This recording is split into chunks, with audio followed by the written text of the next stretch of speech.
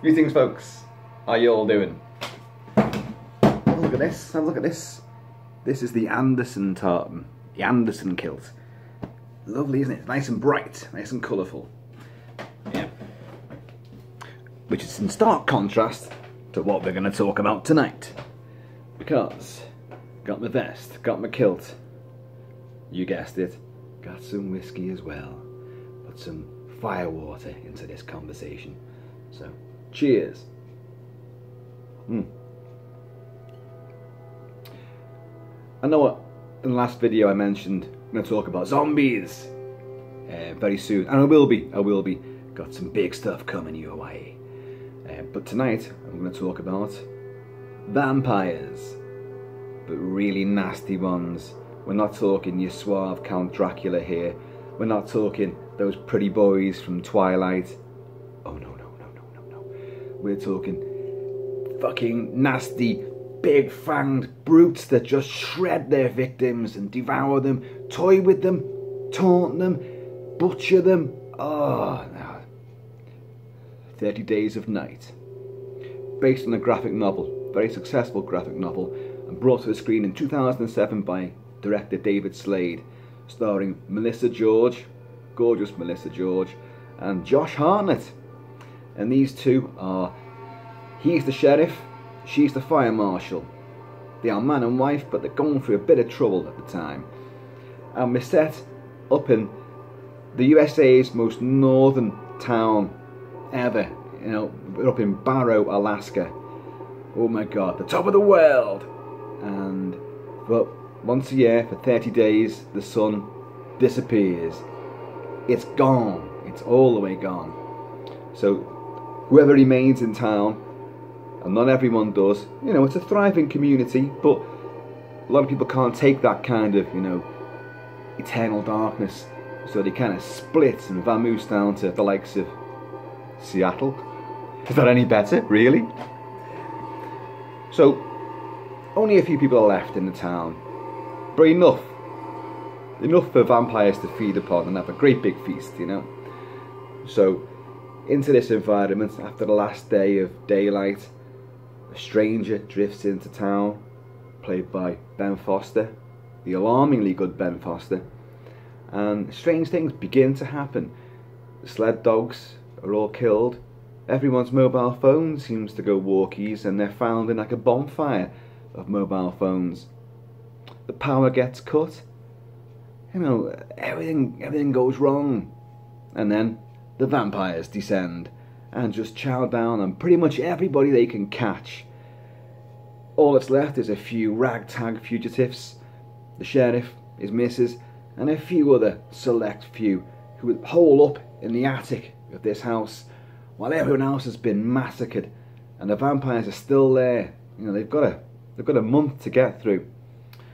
And so ends up being a cat and mouse game where the survivors may run from one place to another, got to shift their hiding places, Got to find some way of surviving, some way of fighting back against this undead horde of bastards. Will they make it? Well, not everyone will. Some sacrifices must be made, yeah. And hopefully someone's going to survive until the sun finally comes up again. Well, what a movie. Jesus Christ. The vampire genre was pretty much dead and defunct, really. The whole Twilight thing and the Underworld saga had sucked the life out of vampirism. It had become stale and boring. The graphic novel was a great success. It was blood curdling, it was vicious, and the movie adaptation pretty much follows suit. I don't think there's been a nastier vampire movie than this one. This is blood curdling stuff. And it's terrifying as well. You know, I really, really love this film. It came out a while ago, Hey, but I watched it last night just to get myself in the mood for you know, the zombie apocalypse which I'm about to unleash upon you guys. And uh, whoa, started off with a good one here. Uh, you know, I've seen it many times, but I hadn't seen it for a while, and I forgot just how effective this movie really is and how terrifying it is. Ben Foster as this weird drifter who's obviously working with the vampires. He goes ahead like the scout to go and like shut down this town and just make it easy pickings for the vampires when they turn up. And he's got this slow drawl, this kind of croaky voice. And once he gets captured by, after causing trouble in the diner, which he was going to do anyway, he gets flung in the cell and, you know, he just taunts Mr. and Mrs. Sheriff. Ah, so sweet. So don't know what's coming, do you? And, and you know, they're coming for you. And you've got like, you know, Josh Hartnett as Eben, you know, that's his name, Eben. he says like, hell of a day. he goes, he goes, just you wait. he goes, hell's a coming, and it's got big nasty fangs. And yeah, and these vampires, they're led by um, Danny Huston, the great Danny Huston, brilliant character actor, um, and marvelous in the, the Aussie movie uh, The Proposition from a few years back. Very sadistic and violent and unpredictable. But he, he doesn't look sadistic in this until you get up close to him. In fact, for fans of the Pet Shop Boys, Neil Tennant, frontman of Pet Shop Boys, this lead vampire called Marlowe looks just like him, and it's like, that's Pet Shop Boys, how can you be afraid of that? Until he gets up close, and his eyes are actually black, and his teeth are like filed down, pointy, they're all pointy. And the vampires speak in this weird ancient language. Uh, it's all like clicks and sort of, you know, throaty rasps, like.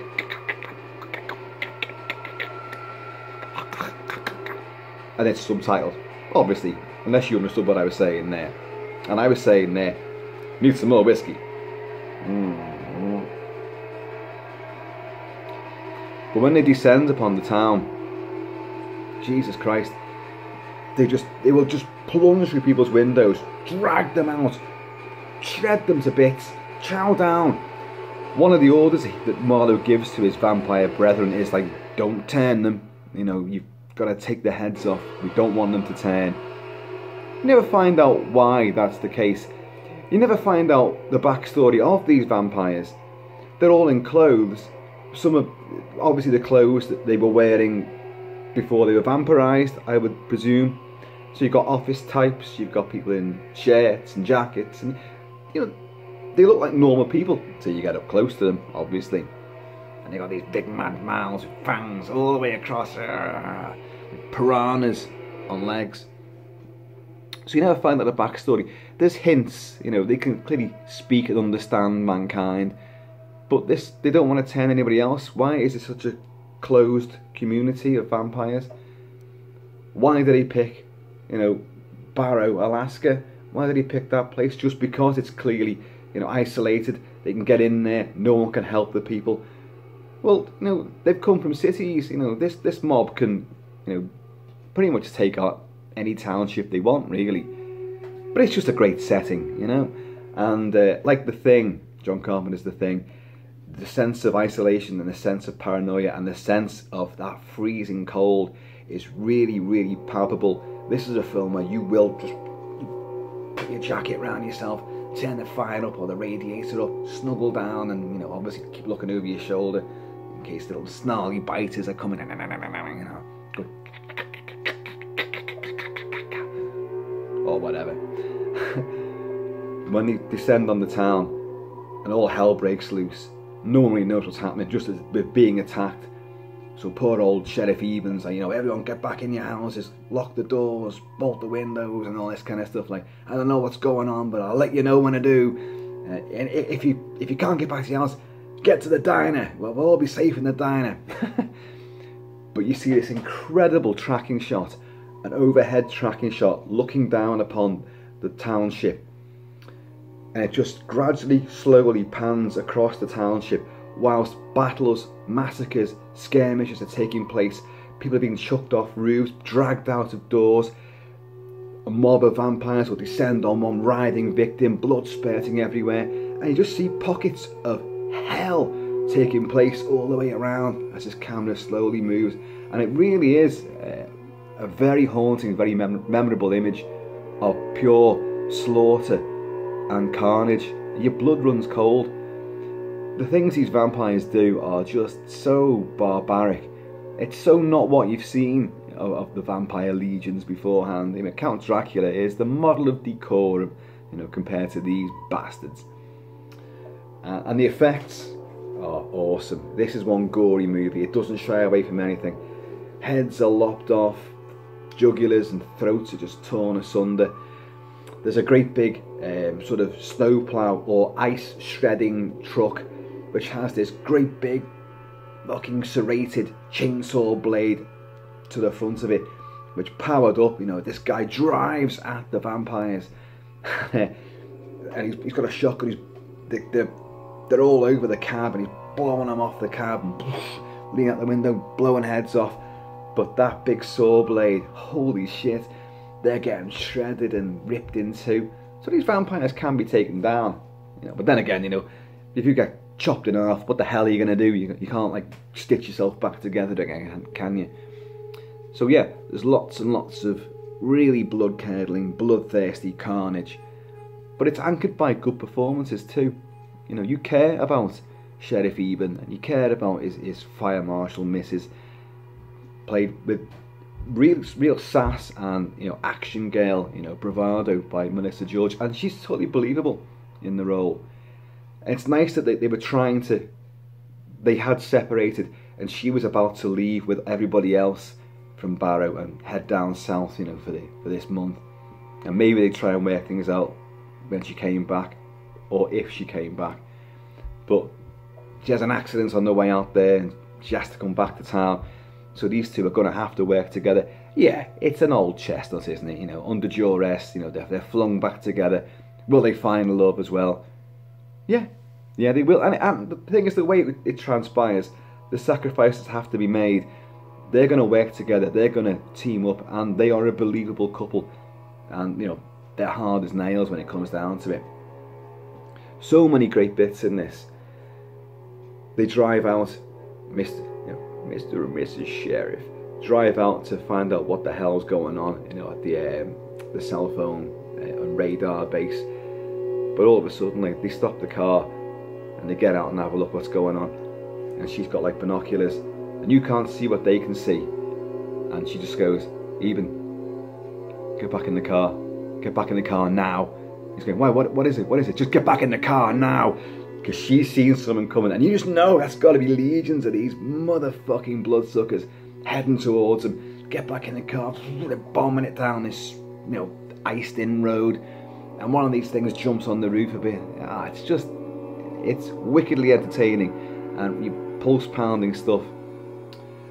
The, the rest of the characters, you got Eben's brother as well, who's uh, in an earlier sequence.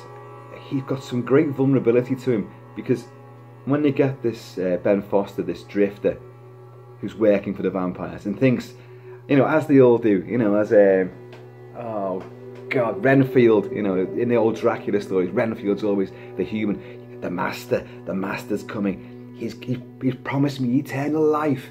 Well, he's one of those, only he's far nastier. A really cynical bastard.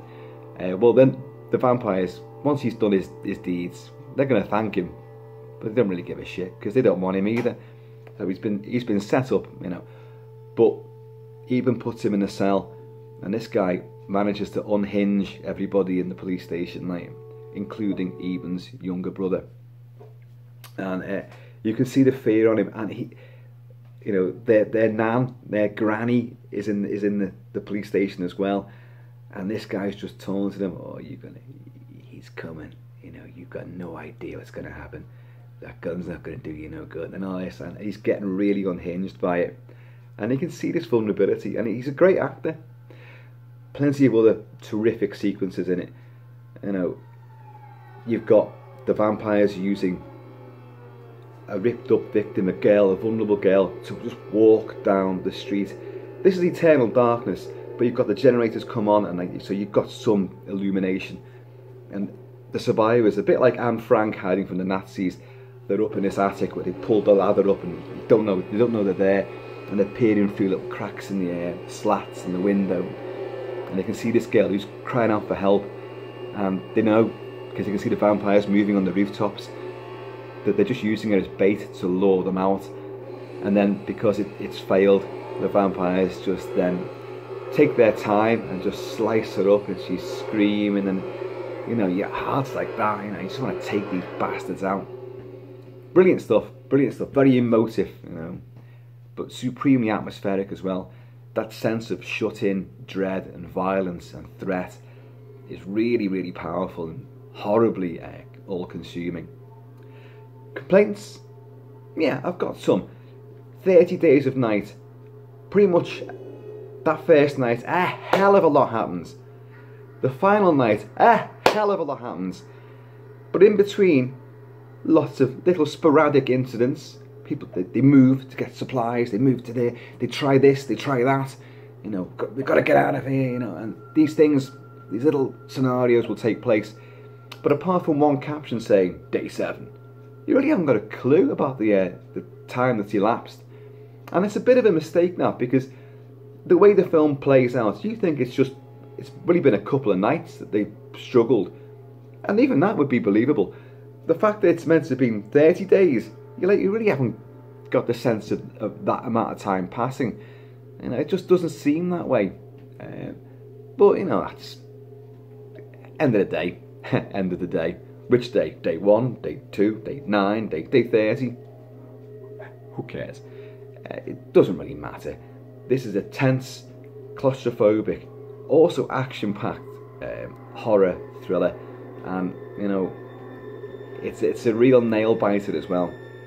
The sacrifice that he has to make at the end, old Eben or young Eben, who he's vulnerable to, he has an inhaler, and even that's quite believable. You know, there's at one point he's done he's done a, a recce to go out somewhere, try and get some supplies or get something. And by the time he gets back, he can't breathe, you know, he, his inhaler's been lost, so he's got to get him a new one. He's like, you know, and, and they've got to keep quiet as well. Vampires keep coming into wherever they are, and they've got to try and keep hidden and keep stum. There's a great sequence where they get into the, uh, the sort of the supermarket to go and you know restock up food, and after getting some stuff, you know, and they hear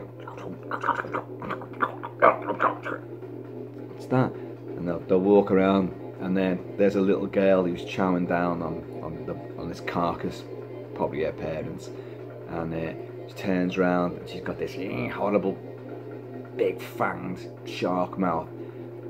I'm done playing with this one. Can I play with you now? And they've got to take out this girl. Oh God, you know, it's just, it's gruesomely spectacular. And let's just say, the gore in it. There's a, an axe decapitation which is, we've all seen heads coming off left, right and centre. You know, it's a staple of the horror genre. But in this film, you'll see it done to a slightly different degree. Hey, you got the, you got that girl, that little girl, they've got her up against the wall like that, and they try to pin her down, and that vulnerable brother of Eben manages to come up with an axe and goes whoa, so her body drops, the head stays, and it's just it's it's great great stuff. Uh, And then you have another bit where one of them sadly has been turned and he knows it and he's like, look, you're to have to take me out. You know, I, I do it now because I'm, I'm on the way. I can smell your blood and all this. So he even gets the axe and starts chopping. But he hits him here.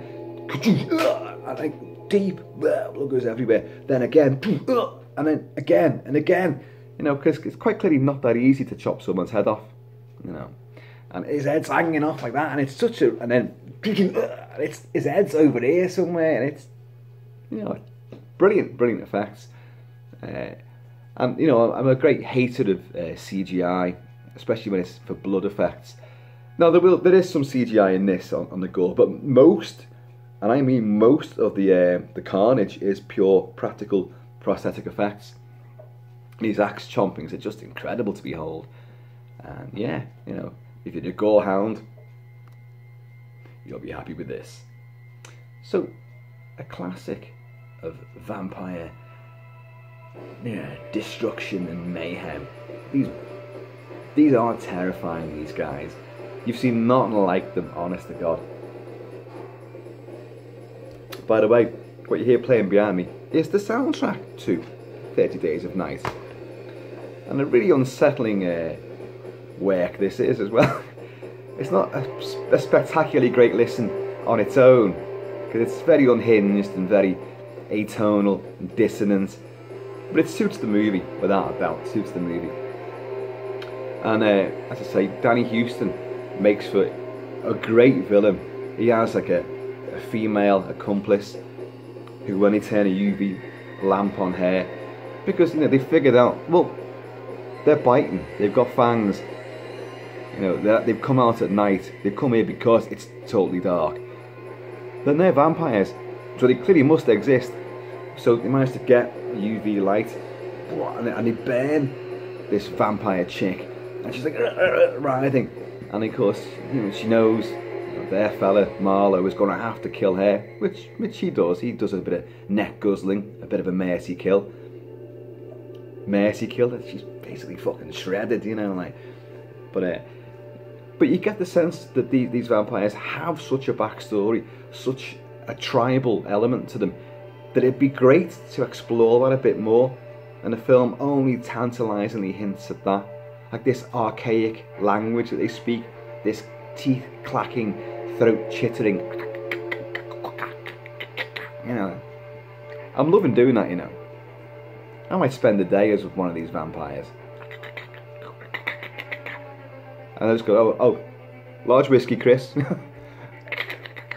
Coming up. yeah, great stuff. And the opening shots of the of the the fjords. What are they fjords in Alaska?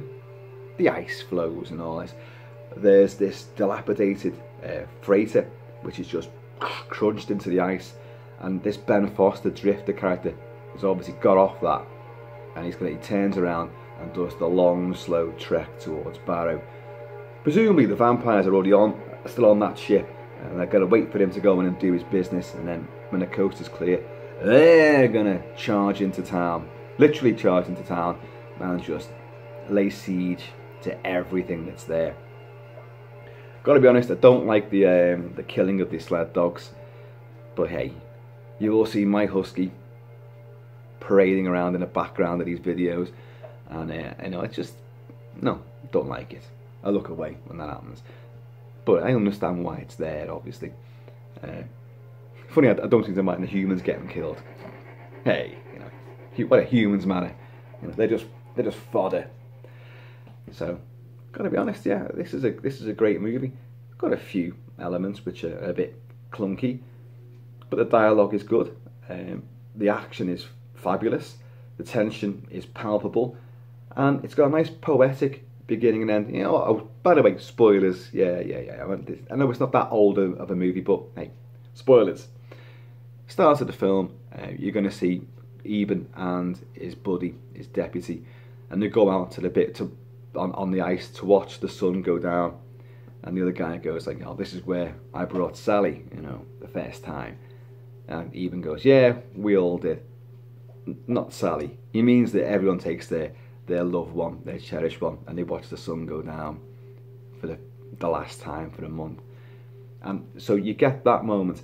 And there's a great shot of Josh Hartnett because clearly he's creeped out. They've already found, I think, the, the phones and um, there's been some other vandalism, and he's you know he's just he's just getting this sense of unease. And the other guy turns to him, Eben, you okay? And he just stands and looks at the sun.